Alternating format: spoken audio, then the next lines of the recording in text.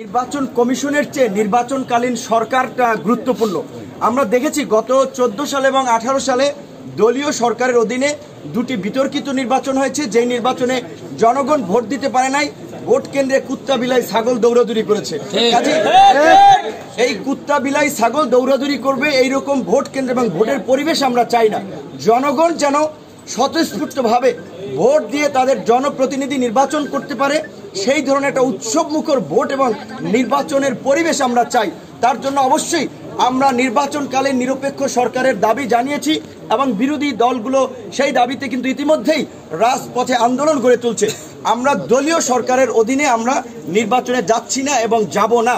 বর্তমান নির্বাচন কমিশন যেটা আমরা বলেছি, তাদের নিয়ে আমাদের খুব একটা কনসার্ন নাই। নির্বাচনকালীন সরকার নিয়েই হচ্ছে আমাদের প্রধান বিষয়।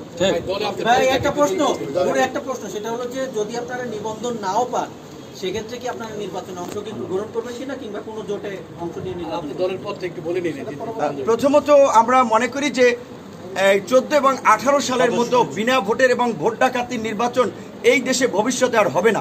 আগামীতে একটি সুষ্ঠু নিরপেক্ষ নির্বাচন হবে এবং সুষ্ঠু নিরপেক্ষ নির্বাচনের পরিবেশ তৈরি হলে অবশ্যই আমরা নিবন্ধন পাবো। আর যদি আমরা আমাদেরকে নিবন্ধন থেকে বঞ্চিত করা হয় সেটা আমাদের সাথে অন্যায় করা হবে। অন্যায়ের প্রতিবাদের জন্যই তারুণ্যের উত্থান এবং এই রাজনৈতিক দলের জন্ম। কাজী প্রতিবাদের মধ্যে দিয়ে আমাদের সেই অধিকার আদায় করব।